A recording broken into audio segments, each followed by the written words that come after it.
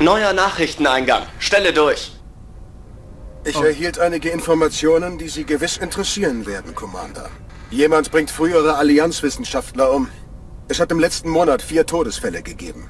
Okay, also wir sind jetzt im Newton-System, falls ihr euch fragt, wo wir gerade sind. Das ist ja noch hier offen in dem Cluster. Dann schauen wir doch mal. Ich kümmere mich gern darum, Admiral.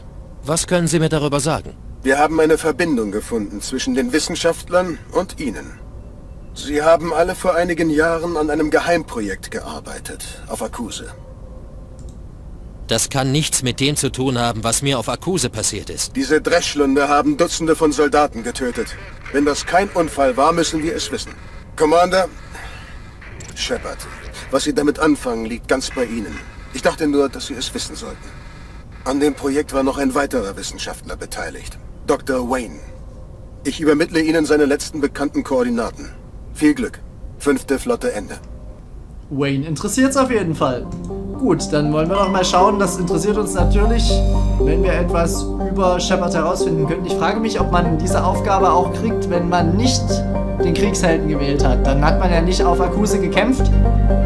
Ontarom. So, ich nehme an, hier müssen wir hin. Wir schauen uns erstmal kurz noch die anderen Planeten an, ganz fix. Denen wir bestimmt auch irgendwas finden werden. Zum Beispiel hier wieder mal eine Materialschrift. Beim Scannen des Planeten Clankery haben sie das Cockpit eines Volus-Handelsschiffes gefunden. Nur das Cockpit, finde ich auch schön. Der Rest des Schiffes konnte nicht geortet werden, aber das Bergungsteam fand in dem Wrackstück eine der Schriften der Matriarchin Delinaga. Grandios, ausnehmend schön. Ansonsten finden wir hier noch ein Gasvorkommen, das ist schön. Auf dem letzten Planeten finden wir wahrscheinlich nichts auf Sesmose. Natürlich nicht. Und damit können wir landen auf Ontarom. Bis gleich. Und da sind wir auf Ontarom und haben interessante Tierchen hier.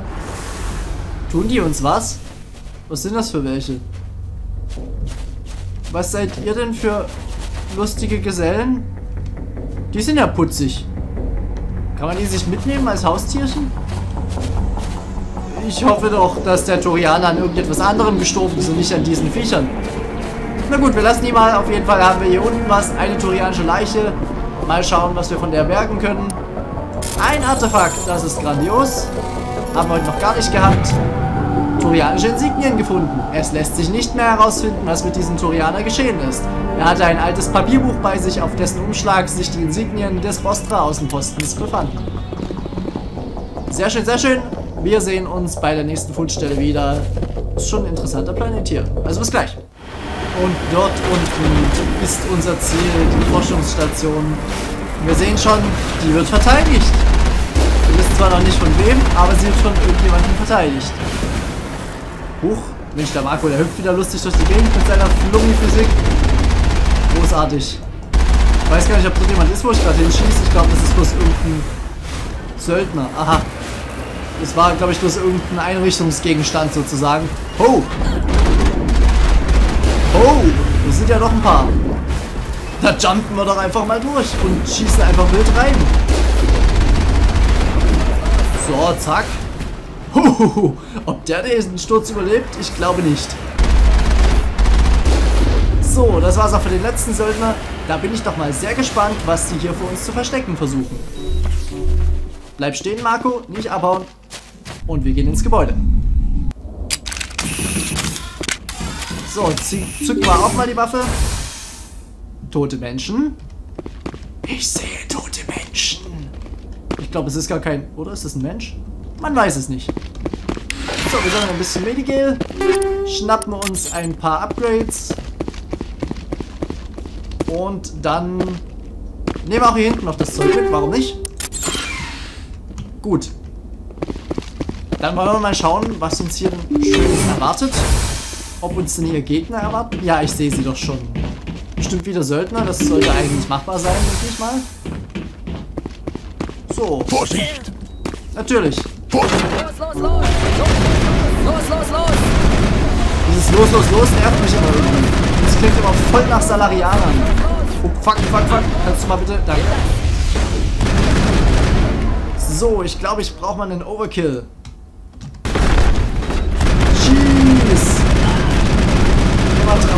Draufhalten auf die Säcke.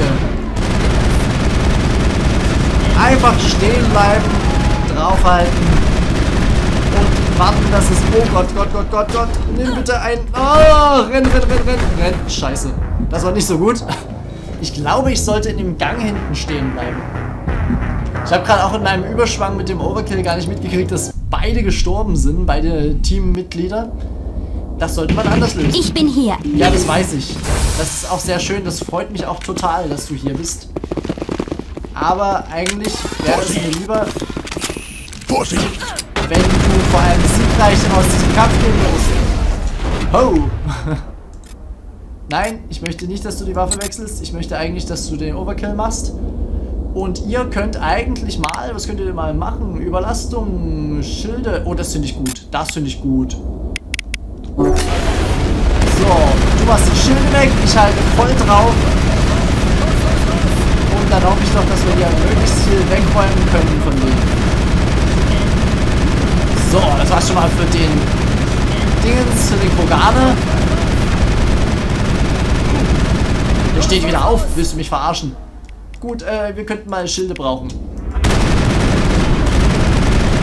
Gut, den hier vorne den haben wir gleich weg. Komm, die Waffe wieder aufladen. Jetzt mach halt. Ich hasse Kogane, ich hasse Kogane. Schick mir den... Äh, fuck. So, dann holen wir uns erstmal den Kogane hier vorne an der Ecke. Noch ein Medi, noch ein Medi. Gott verdammt, was ist denn das? Halleluja, das ist ja grandios hier. Ah. So, wenn der Versuch jetzt auch nicht klappt, dann mache ich das abseits der Aufnahme. Den einen will ich mir noch gönnen. Wenn der nichts wird, dann eben abseits. Dann habt ihr das nicht gesehen. Beziehungsweise vielleicht schneide ich dann einfach den rein, der funktioniert hat. Das könnte man auch machen. Ich sollte die Waffe wechseln. Oh, nehmen wir mal die Pumpgun. Warum nicht? Oh Gott. Hallo, was geht denn?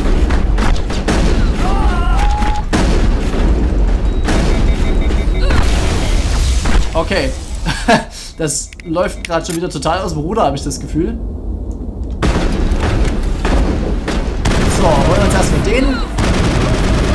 Das ist Morgana immer. Nimm doch mal diesen Typ hier weg. Was? Was kommen die denn immer hier rangeschissen, Mensch? Könntest du mal gehen, bitte? Ach, der rennt nicht. Er rennt nicht. Ah. Okay, ich schneide jetzt das rein, was funktioniert. Verstanden? Nee, weißt du, ich mache einfach, ohne dass ihr es seht. So. also, sobald alle tot sind, werdet ihr es sehen. So, ihr dürft wieder dabei sein. Ich habe gerade mal einen etwas ungloriosen Kampf hier geführt, eine Weile lang. Indem ich einfach mich mal zurückgezogen habe in den Gang dahin. Und jetzt dürft ihr aber wieder mit dabei sein, von mir aus. Wenn ihr seht, wie ich hier den Kampf abschließe. Auch wenn das jetzt gerade nicht so glorreich war. Weil die Drecksäcke mir sich gerade schon wieder so ein Schild drauf gezaubert haben. So, jetzt haben wir aber zumindest schon mal den Krogana aus dem Weg geräumt hier. Damit sind es nur noch zwei Menschen. Das sollte doch machbar sein. Da. Versuchen sie es hier mit irgendwelchen Guerilla-Taktiken. Mal kurz vorbeischauen und draufhauen und dann wieder abhauen. Nee, so geht's nicht hier. Ja, Tali hat es gerade immer wieder erwischt. Das tut mir auch sehr leid für Tali. Vielleicht klappt es ja diesmal. Jeden Fall sollte ich mal Sammeln bei ihr einstellen. Das habe ich nämlich vorhin aus bloß bei Garrus gemacht. So. Und jetzt stelle ich mich mal schützend vor sie. Damit sie eben nicht gleich wieder umkippt. Komm, jetzt können wir das auch so machen hier. Das war's für den ersten. Und der letzte, der ist jetzt auch noch dran. Viel Knall und viel Bumm und was weiß ich nicht noch alles. So, komm her, Kollege. Das war's für dich. Heieiei, das war aber eine schwere Geburt mit den Söldnern hier. Mensch, das hätte ich gar nicht gedacht. Aber es waren doch relativ viele. Und man muss auch sagen, wenn man sich nicht in diesen Gang zurückzieht, dann wird man doch sehr schnell umzingelt dort in dem Raum. Das ist nicht so schön. Survivor, okay. Und äh, dann kriegt man eben auch schnell auf die Fresse. Das muss man mal so sagen, wie es ist. Ja, ist nicht so schön. Aber Manchmal muss man eben auch ein bisschen taktisch kämpfen, was dann ziemlich unansehnlich ist, wie ich es gerade gemacht habe. Der Kampf hat auch eine Weile gedauert dadurch, dass ich mich nur zurückgezogen habe. Aber ich war eben relativ sicher. Das ist halt der Vorteil gewesen. Und nachdem wir das Ding jetzt hier geknackt haben, können wir dann endlich mal sehen, was es denn hier mit, dem, mit dieser ganzen Anlage überhaupt auf sich hat. Das wissen wir ja immer noch nicht so genau. Ich bin sehr gespannt. Auf jeden Fall liegt hier schon wieder ein Toter rum. Gut, hier drüben ist zu, natürlich. Dann gehen wir mal hier rein und schauen, was es gibt. Gehen Sie weg! Ich will nichts von Ihnen. Ich will nichts als diesen Bastard. Bitte! Er ist verrückt!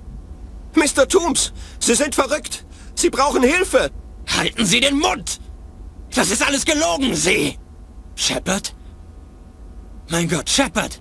Sind Sie das? Jemand von Akuse nehme ich an. Tooms? Aber Sie waren auf Akuse. Ich sah, wie der Dreschlohn Sie runterzog. Sie haben mich mitgenommen, Shepard. Die Wissenschaftler.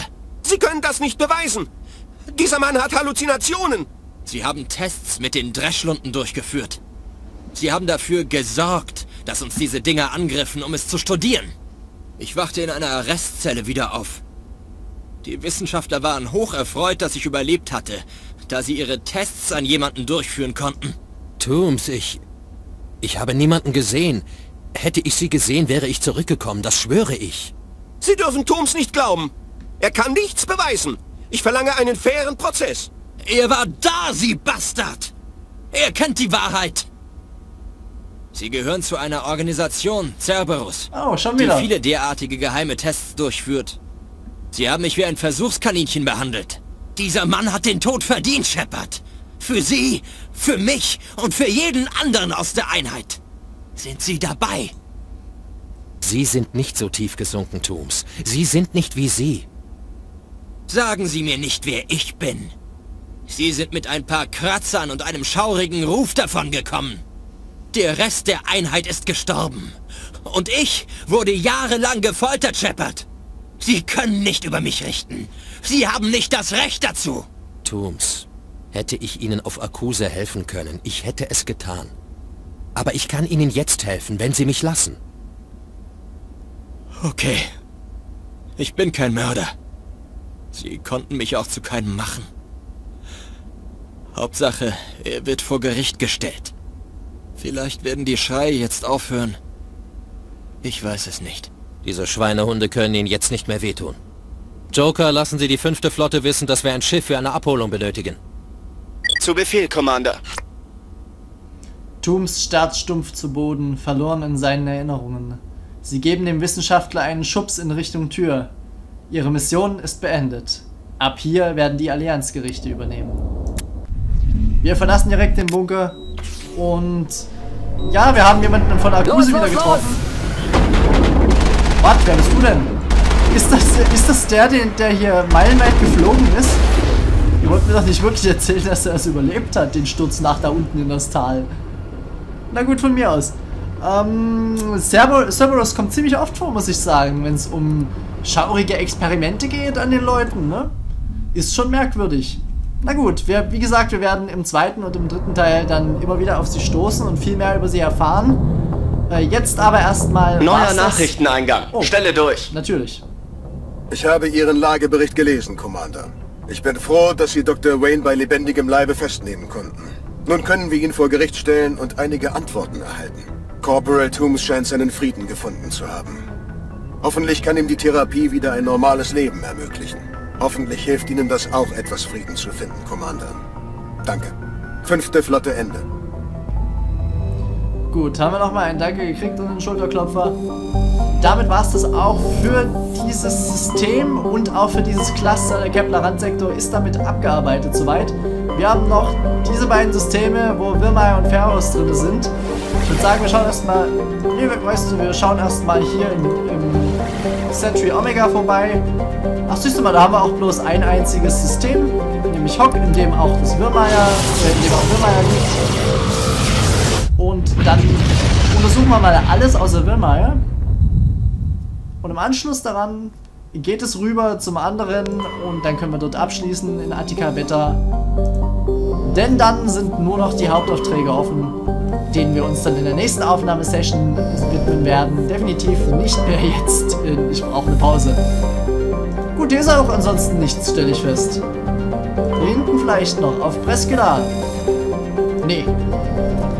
Es gibt hier wirklich nichts außer Wirmeier und Wirmeier schauen wir uns jetzt noch nicht an. Das heißt, wir gehen nach Attika Beta und schauen erstmal hier im Herkules vorbei. Herkules-System. Hier wird es bestimmt noch mal einen Planeten geben, denke ich mal. Den wir erkunden können, vielleicht aber auch nicht. Neuer Nachrichteneingang. Ah, doch, Stelle natürlich. durch. Natürlich. Normandy, hier ist das Allianzkommando. Wir haben Ihre Präsenz im Attikanischen Beta-Cluster entdeckt. Eine unserer Überwachungsdrohnen sammelte Informationen über Gate-Aktivitäten in der Region, als sie entdeckt und abgeschossen wurde. Sie müssen landen und das Datenmodul der Drohne bergen, bevor die Gates sie finden. Oh nein, nicht schon wieder, Geth. Ich habe keine Lust auf die. Na gut, ist sowieso das letzte jetzt. Von daher ziehen wir noch durch und dann haben wir es auch geschafft. Hier haben wir noch einmal ein Medaillon. Beim Scannen des Planeten Seedet haben sie ein großes Trümmerfeld mit im geosynchronen Orbit gefunden. Bei mehreren aufwendigen Bergungsmanövern fand Techniker Adams einige interessante Objekte, darunter auch ein Medaillon des Sarayana-Ordens. Schön, schön. Wir schauen noch kurz die anderen Planeten durch. Eletania, das ist bestimmt, genau, das ist der, auf dem wir müssen. Giftgefahr. Uh. Satoros hat etwas für uns. Schön. Ein Schwermetall bekommen. Ein bisschen Gold, das ist gut, das schadet nie. Wir gehen nach Eletania und sobald dort irgendwas Interessantes auftritt, melde ich mich wieder. Bis gleich. Da haben wir eine proteanische Ruine und sieht das nicht großartig aus? Ja, was ist das denn?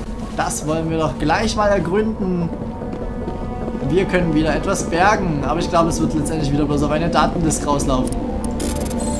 Schade eigentlich. Wird sich dann im zweiten Teil ändern, da haben wir sowas ähnliches dann auch wieder. Mysteriöse Kugel untersuchen. Oh. Die Untersuchung des seltsamen proteanischen Artefakts ergab, dass sich auf der Unterseite eine kleine, uh, unregelmäßig geformt, äh, ein kleinerer wahrscheinlich, oder nee, ein kleiner, na gut, ein kleiner, unregelmäßig geformter Schlitz befindet. Irgendwie haben sie es manchmal mit den Artikeln, ich weiß auch nicht. Sie erinnern sich an das seltsame Schmuckstück, das sie von der Konsortin auf der Citadel erhalten haben, nehmen es heraus und setzen es in den Schlitz ein. Der Ball explodiert in einem weißen Lichtblitz, wodurch sie für einen Moment geblendet werden und die Orientierung verlieren. Ganz langsam kehren ihre Sinne zurück, als sie aus einem tiefen Schlaf erwachen. erwachen. Entschuldigung. Sie sind alleine im Wald, aber nicht weit von den Höhlen entfernt, in denen sie mit ihrem Stamm leben. Am Hinterkopf verspüren sie einen dumpfen Schmerz und eine kleine Beule, als ob ein Flintsteinsplitter unter die Haut getrieben wurde. Sie stützen sich auf ihren Speer mit der Knochenspitze und richten sich auf. Ein Geräusch über ihnen lässt sie aufblicken. Eine seltsame Kreatur lauert über ihnen. Sie ist anders als die Vögel, die sie sonst am Seeufer jagen. Sie hat keinen Kopf und keine Flügel und kann dennoch fliegen. Die Kreatur schimmert silbern und bewegungslos in der Luft, wie eine Wolke. Sie spüren, dass sie von ihr beobachtet werden. Oh Gott! Sie heben ihre haarige Faust mit dem Speer und drohen damit der Kreatur. Die Kreatur fliegt schnell davon und verschwindet aus ihrem Sichtfeld. Mit einem zufriedenen Grunzen machen sie sich zurück auf den Weg zu den Höhlen und dem Rest ihres Stammes. Sie gehen wieder ihren alltäglichen Pflichten nach. Der Jagd nach Nahrung, die Kämpfe um Frauen und gegen andere Stämme, die ihnen ihr Revier streitig machen wollen. Nach den entbehrungsreichen Tagen fallen sie nachts in tiefen Schlaf. Jedes Mal, wenn sie daraus erwachen, haben sie das Gefühl, dass sie nicht alleine sind. Dass da noch jemand anderes ist, der alles wahrnehmen kann, was sie sehen, hören und fühlen.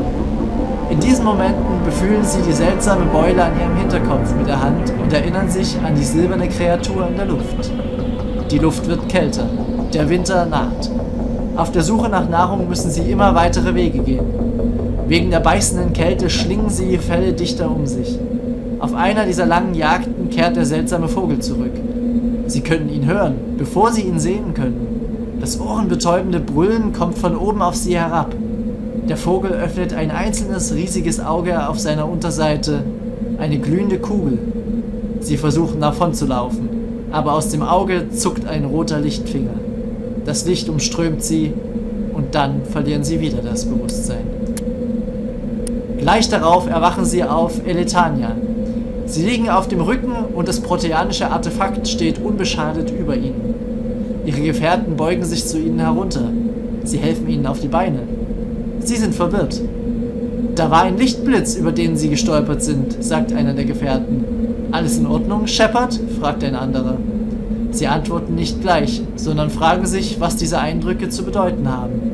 Die Erinnerungen eines Cro-Magnon-Jägers, der von einem proteanischen Datensammler gefangen wurde? Wie lange haben Sie die primitiven Menschen von ihrer Basis auf dem Mars aus beobachtet und die Ergebnisse analysiert? Was könnten Sie daraus gelernt haben?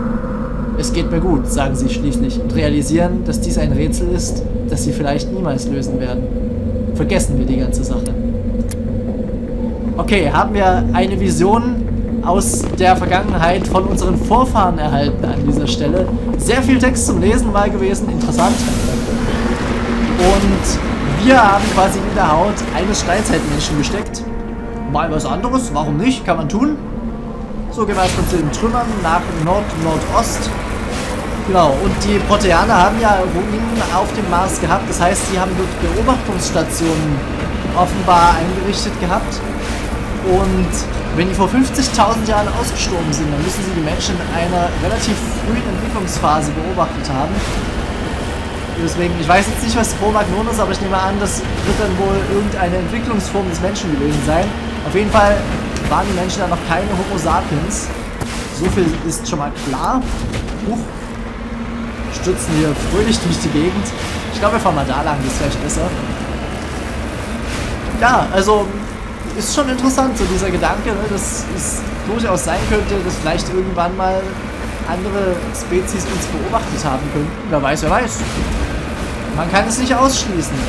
Ich meine, es ist unwahrscheinlich, natürlich, aber auszuschließen ist es nicht. Und genauso wenig wie es auszuschließen ist, dass es anderes intelligentes Leben auf der, äh, im All gibt. Es ist sogar relativ wahrscheinlich, muss ich sagen, dass es welches gibt überhaupt. Nur eben ist es auch sehr wahrscheinlich, dass man niemals Kontakt zu ihnen herstellen wird oder jemals davon erfahren wird, dass es sie gibt, weil die Wege eben so weit sind, dass eine Kommunikation unmöglich ist. Und wie soll man sich überhaupt erstmal finden? Das ist auch die Frage. Man wird für immer, ohne voneinander zu wissen, existieren. Aber dass es andere gibt, ist äußerst wahrscheinlich, denn warum sollte die Erde der einzige Planet sein, der Leben hervorbringen kann? Das ist einfach nicht logisch.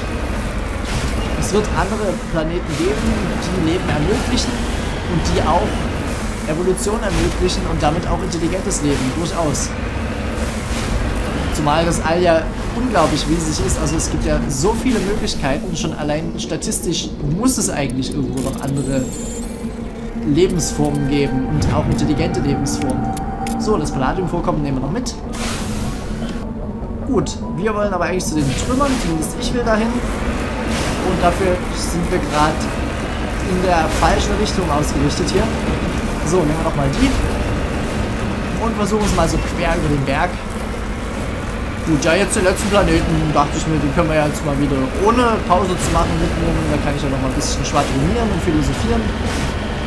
Genau, also es ist einfach sehr wahrscheinlich, dass es irgendwo noch ein anderes Leben gibt. Die Frage ist auch, was mich sehr interessieren würde, wie sieht dieses andere Leben aus? Das ist halt auch immer so eine Sache. Hier bei Mass Effect sind alle oder die meisten intelligenten Lebewesen, sagen wir es mal so, sind vierbeinig. Es gibt natürlich Ausnahmen, zum Beispiel die Ratten sind ja auch sehr intelligent, anders intelligent vor allem. Und äh, sind sechsbeinig, glaube ich. Ich glaube, die sind Insektoid, also sechsbeinig.